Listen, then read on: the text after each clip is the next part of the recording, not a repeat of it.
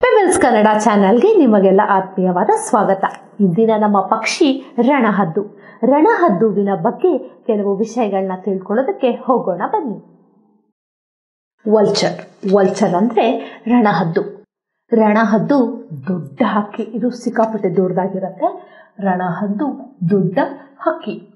ಇದು ಅಗಲವಾದ ಮತ್ತು ತುಂಬಾ ಸ್ಟ್ರಾಂಗ್ ಆಗಿರೋ ಬಲವಾದ ರೆಕ್ಕೆಗಳನ್ನು ಹೊಂದಿದೆ. ಇದು ಅಗಲವಾದ ಮತ್ತು ಬಲವಾದ ರೆಕ್ಕೆಗಳನ್ನು ಹೊಂದಿದೆ.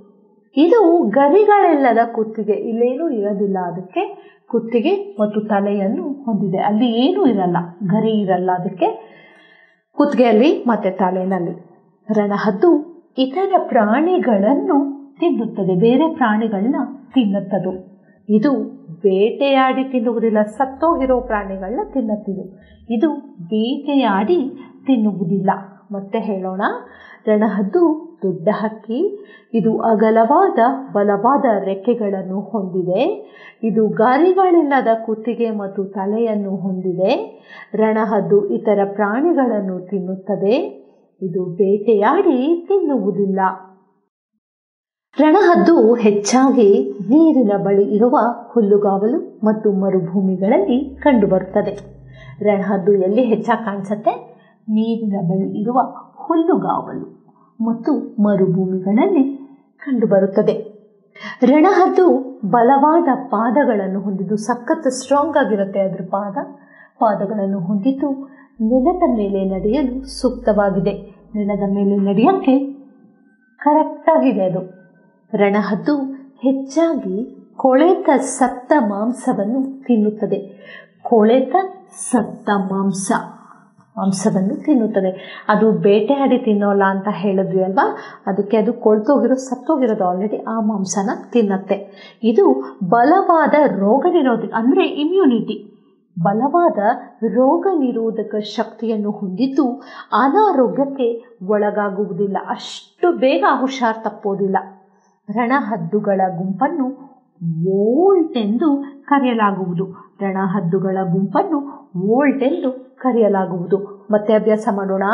ರಣಹದ್ದು ಹೆಚ್ಚಾಗಿ ನೀರಿನ ಬಳಿ ಇರುವ ಹುಲ್ಲುಗಾವಲು ಮತ್ತು ಮರುಭೂಮಿಗಳಲ್ಲಿ ಕಂಡುಬರುತ್ತದೆ.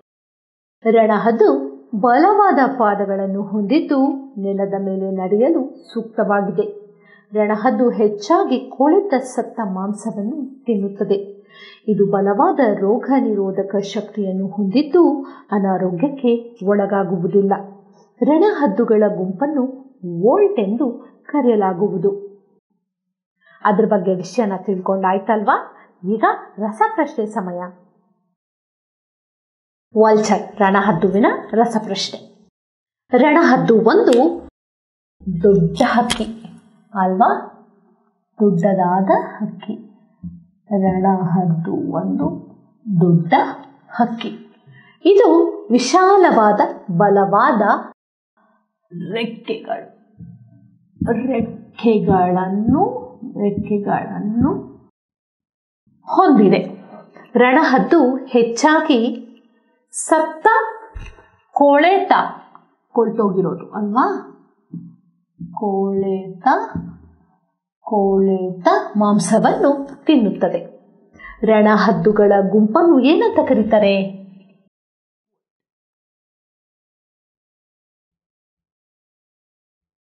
ರಣಹದ್ದುಗಳ ಗುಂಪನ್ನು ವೋಲ್ಟ್ ಎಂದು ಕರೆಯಲಾಗುತ್ತದೆ. ಇದು ಗರಿಗಳಿಲ್ಲದ ಕುತ್ತಿಗೆ ಮತ್ತು ತಲೆಯನ್ನು ಹೊಂದಿದೆ.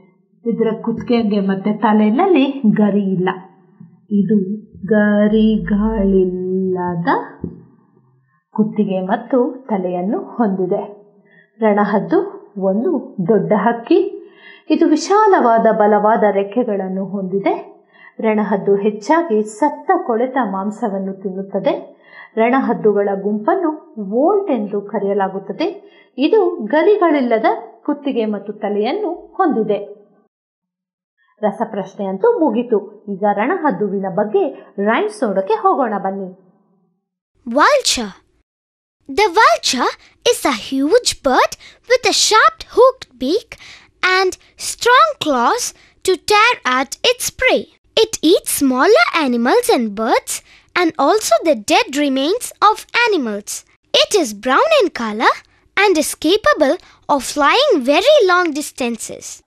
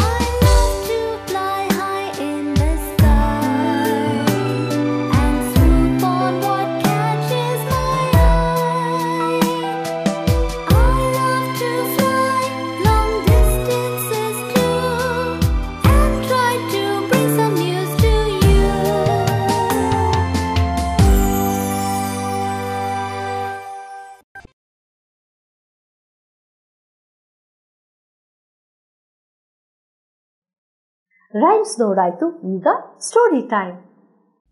ಜಾಣ ಕಾಗೆ ಚಿಂತು ಒಬ್ಬ ಜಾಣಕಾಗೆ. ಒಂದು ದಿನ ಅವನು ಆಹಾರವನ್ನು ಹುಡುಕುತ್ತಾ ಮನೆಯಿಂದ ಹೊರಟನು. ಓಹ್, ನನಗೆ ಬಹಳ ಬಾಯಾರಿಕೆಯಾಗುತ್ತಿದೆ ಎಂದು ಅವನು ಅಂದುಕೊಂಡ ಮತ್ತು ನೀರಿಗಾಗಿ ಹುಡುಕಲು ಪ್ರಾರಂಭಿಸಿದ. ಅವನು ಎಲ್ಲಾ ಕಡೆ ಹುಡುಕಿದ, ಆದರೆ ನೀರು ಸಿಗಲೇ ಇಲ್ಲ. ಕೊನೆಗೆ ಅವನಿಗೆ ಸ್ವಲ್ಪವೇ ನೀರು ಇದ್ದ ಒಂದು ಹೂಜಿ ಕಾಣಿಸಿತು. ಅವನು ಸ್ವಲ್ಪ ಹೊತ್ತು ಯೋಚಿಸಿದ. ನನಗೆ ಒಂದು ಒಳ್ಳೆಯ ಉಪಾಯ ಸಿಕ್ಕಿತು ಎಂದುಕೊಂಡ. ಮತ್ತು ಸುತ್ತಮುತ್ತಲಿನಿಂದ ಸಣ್ಣ ಸಣ್ಣ ಕಲ್ಲುಗಳನ್ನು ತೆಗೆದುಕೊಂಡು ಅವುಗಳನ್ನು ನೀರು ಮೇಲೆ ಬರುವವರೆಗೂ ಒಂದೊಂದಾಗಿ ಹಾಕುತ್ತಾ ಹೋದ. ಸ್ವಲ್ಪ ಹೊತ್ತಿನಲ್ಲೇ ನೀರು ಮೇಲೆ ಬಂದಿತ್ತು. ಅವನು ನೀರು ಕುಡಿದ ಮತ್ತು ಸಂತೋಷದಿಂದ ಹಾರಿಹೋದ. ನೀತಿ ಪ್ರಯತ್ನವನ್ನು ಎಂದಿಗೂ ಬಿಡಬಾರದು.